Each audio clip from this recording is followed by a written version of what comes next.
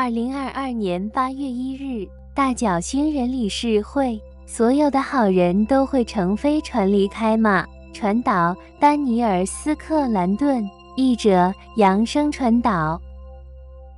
大家好，我们是大角星人理事会，很高兴与你们联系。我们对人类能够接收最近进入你们大气层的能量的方式感到非常满意。你们都有这些不可思议的机会摆在你们面前，把你们得到的东西和你们所有的经验，你们对地球上真正需要什么的所有知识结合起来。你们可以将所有这些结合起来，创造新的现实、新的时间线和更好的地球生活体验。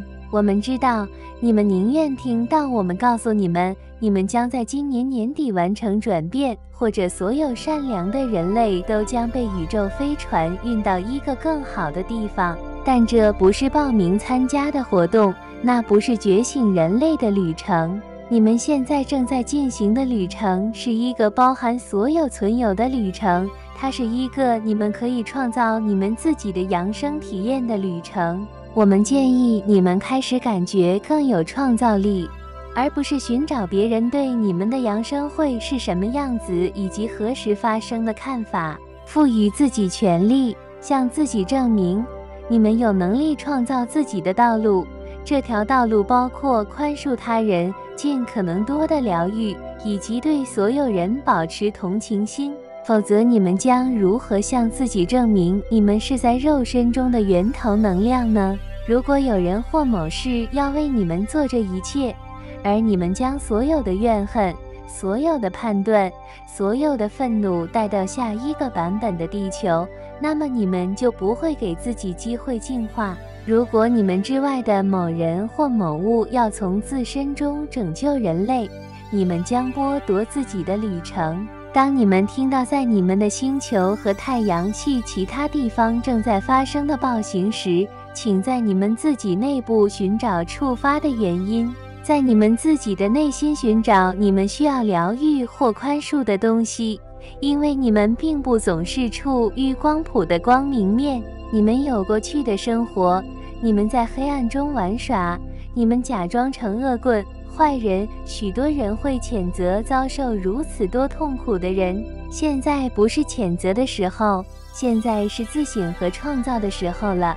我们知道。当我们为你们安排这些时，那些接收到这些信息的人能够理解我们。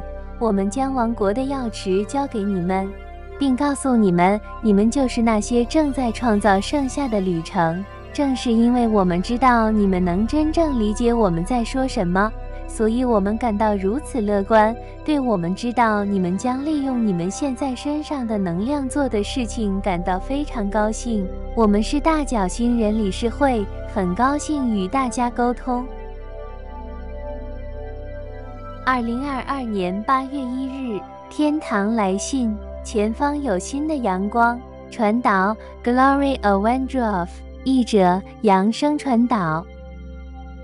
上帝说。纯真意味着什么都不期待，享受意外，享受惊喜。纯真没有目标，纯真不知道失望，因为纯真没有议程。纯真笑着拍手，并不是说纯真的每时每刻都期待着快乐。纯真是自发的，无法计划。当它出现时，纯真就会被生活的喜悦所吸引。纯真令人愉悦。设计带来的愉悦与纯真带来的愉悦相去甚远。无论你们和宝宝玩多少次躲猫猫，宝宝都会很高兴。宝宝不会想我会高兴的，宝宝简直高兴坏了。每次游戏都是新的，每次游戏都会带来乐趣。游戏不会制造欢乐、喜悦升起。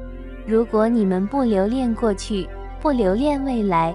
快乐将是司空见惯的，但它仍然是快乐的。人们可能已经忘记了地球上的生活注定要充满欢乐。如果判断不存在，生活将是一个又一个的快乐。你们的生活会是一个又一个的快乐。没有评判，生命就会到来，而生命就会像它本来的样子一样受到欢迎。开启生活，亲爱的。像对待富有的客人一样，抓住生命，迎接它。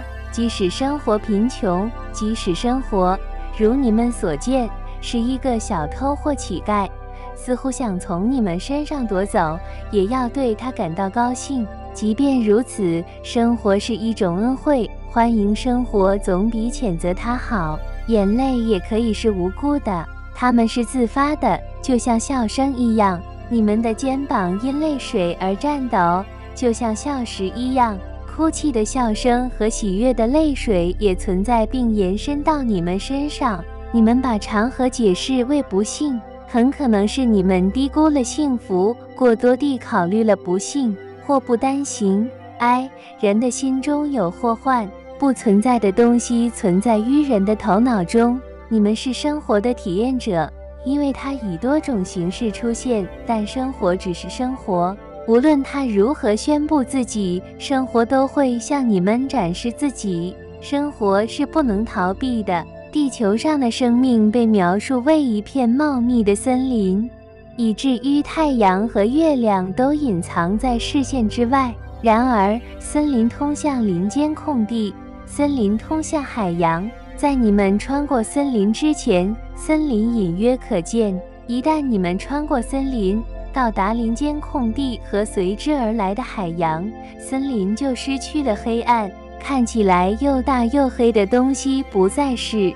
所以你们走过生活，保持你们的脚步活泼，因为前方有新的阳光，在生活中飞跃并得到祝福。地球上的生命是一段幸福的插曲，不要错过生活，不要与生活搏斗，但要与所有的快乐搏斗。每一枚硬币总有另一面，把判断排除在画面之外。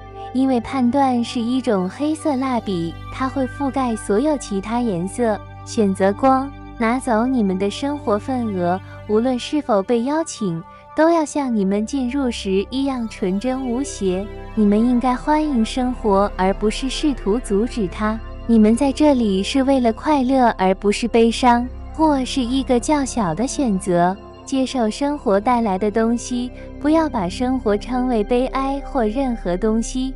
把它称为你们的礼物。